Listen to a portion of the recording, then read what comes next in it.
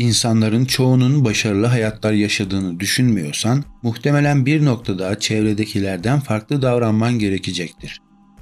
Başarı pek çok şekilde ortaya çıkabilir ve genellikle kalabalığın arasından sıyrılmak ya da ortalamanın üzerinde olmak, kalabalığın bir yöne doğru hareket ettiğini fark etmek ve diğer yöne doğru hareket ettiğinden emin olmakla ilgilidir.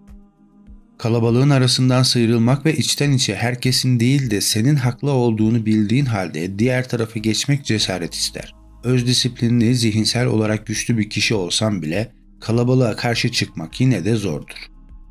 Bu nedenle haklı olduğunu bildiğinde diğerlerinden farklı davranma şansını arttırmak için yapabileceğin en güçlü egzersizlerden biri yerinde durma alıştırması yapmaktır.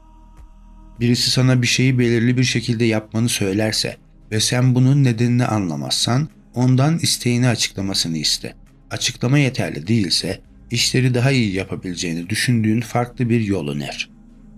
Bunun sırf yüzleşmek için yüzleşmek olmadığını unutma. Bu sadece şimdiye kadar böyle yapıldığı için işleri belirli bir şekilde yapmayı sorgulama alıştırmasıdır. Ancak kimse nedenini bilmiyor.